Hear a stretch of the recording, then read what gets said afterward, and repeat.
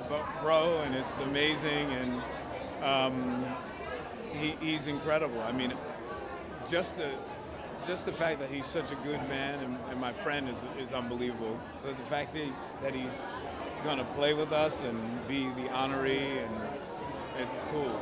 As a musician, I have to sort of separate myself from the musician, the chairman, and just the fan. And it's hard to do with Bono because he's so cool.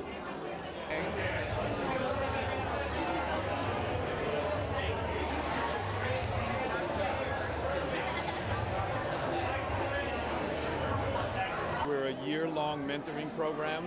Uh, we bring kids from, we bring teens from all over the world, and we we we hook them up with uh, CEOs, people with very big brains, and uh, these are people that help them to build out and sustain their programs. All of the kids that are in our organization are people who are already motivated, who already have developed programs that are based on um, food, clothing, shelter, education, um, uh, health care. I'm sorry I had to pull you in